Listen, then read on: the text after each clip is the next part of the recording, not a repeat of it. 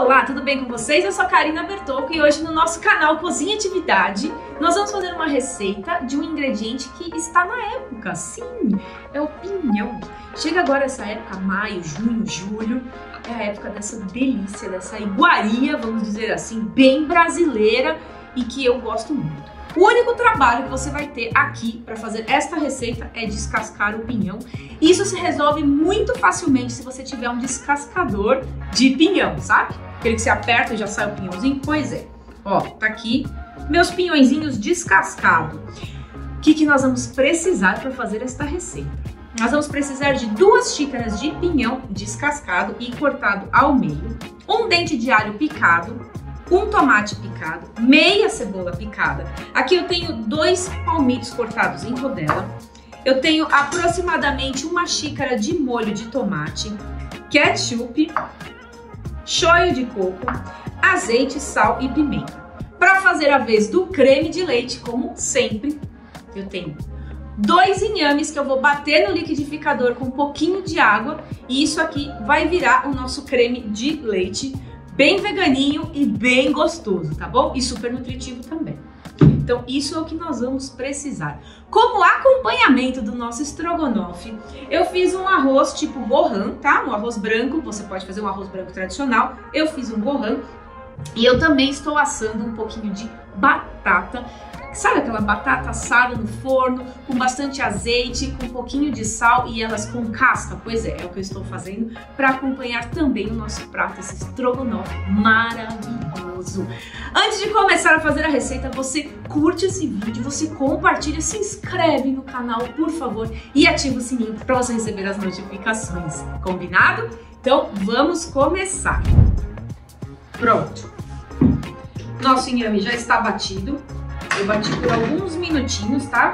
Pra ele colocar o amido em dia, né? Então tá aqui o nosso creme de leite, que não tem leite e é bem mais gostoso e nutritivo. Está pronto. Agora, vamos lá. Azeite na panela. Aí eu vou colocar o alho e a cebola.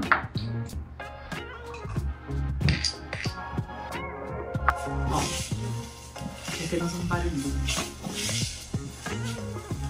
Vamos deixar a cebola dourar um pouquinho, murchar na verdade, não dourar, tá? Só dar uma murchadinha. Aí nós vamos entrar com o tomate. Mexe. Karina, não tem descascador de pinhão. Não tem problema. O meu eu não encontrei, então eu tive que descascar tudo com a, uma faquinha. Você vai descascando. Outra ideia é, sabe a parte de trás da, da tesoura, a bundinha?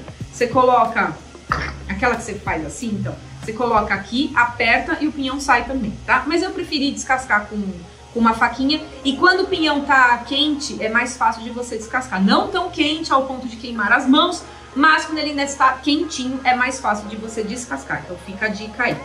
Deixa eu tirar esses aqui com casca. E aí, esses aqui a gente já vai pôr na nossa panelinha.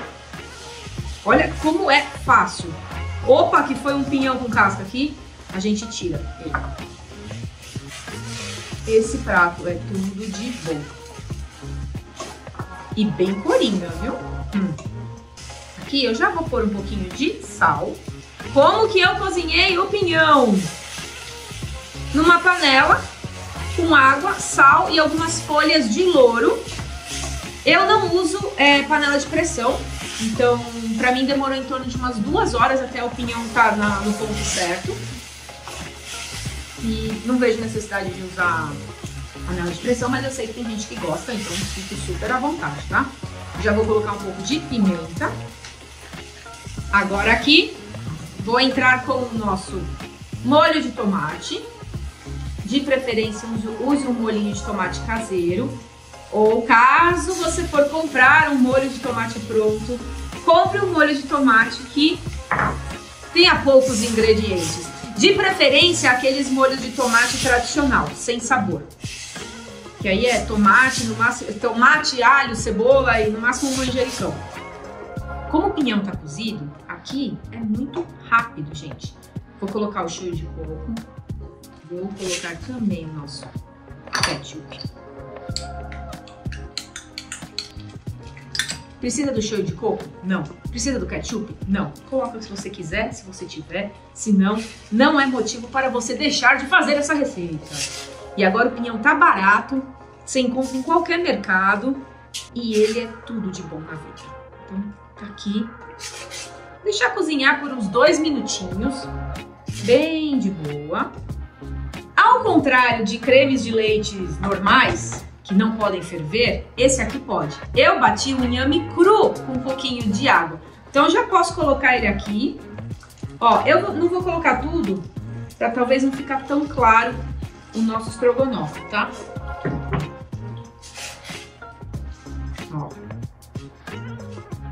Agora eu vou deixar cozinhar um pouquinho.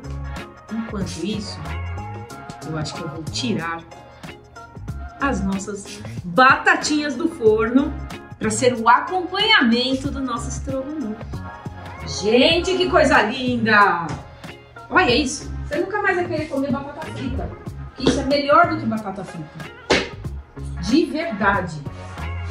Tá quente. Tá quente. O nosso estrogonofe está bom de sal. Ele já está pronto, tá? Você viu? O pinhão já tá cozido, você não tem nada pra fazer aqui. Você tem que misturar as coisas, né? Dourar um pouco, é, um pouquinho a cebola, mas nada do tipo que exija tempo. A tempo tá em descascar o pinhão. Hum. Não precisa mais de nada. Nem de sal. Agora vou colocar o nosso palmito. Farina, posso usar champignon? Pode. Eu não tinha champignon em casa, então o palmito vai fazer a vez. Gente, tá pronto. Está pronto o nosso estrogonofe de pinhão com palmito.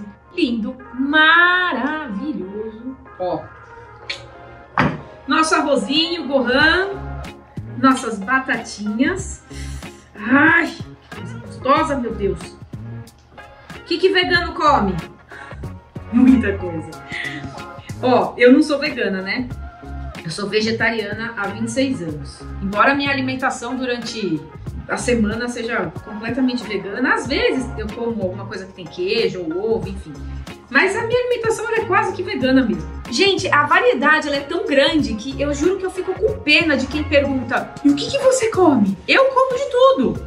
Quem come carne que só come a mesma coisa, tem aquela monotonia de, né? É sempre a mesma coisa, é sempre o frango, é sempre a carne, é sempre, né? Aqui a gente tem vários protagonistas no prato. A gente tem vários tipos de protagonistas que podem, né, protagonizar os pratos da semana inteira, cada dia um. E somos muito felizes assim. Tá pronto, eu já vou desligar a sopinha de ontem que deixei a concha dali, ali, ó, salvou minha vida hoje que você pensa? Você precisa de mais alguma coisa na vida? Eu precisaria que tivesse pinhão o ano inteiro. Mas não tem, a gente tem que respeitar a sazonalidade, viu? Se você quiser, eu tenho um e-book falando um pouquinho de sazonalidade, dando sugestões, tá bom? É, do que comprar no, no Brasil durante quase todo o ano. Aquela lista de compra mais básica que a gente tem e assim te explicando direitinho qual é a época certa do abacate, do pinhão, é, da maçã, da banana, enfim, para você economizar din-din e comprar produtos muito mais nutritivos e gostosos e além de pagar mais barato, obviamente, porque quando está na época a gente paga mais barato. Gente, olha isso que coisa maravilhosa. O nosso estrogonofe de pinhão está pronto com batatinhas assadas, arrozinho branco ou gohan, que é o caso daqui. E agora eu vou provar porque coisa boa a gente prova várias vezes. Só que tá quente pra cacete, meu Deus. E eu não quero queimar a minha língua. Mas acho que eu vou queimar. Hum. Ó. sei nem o que dizer.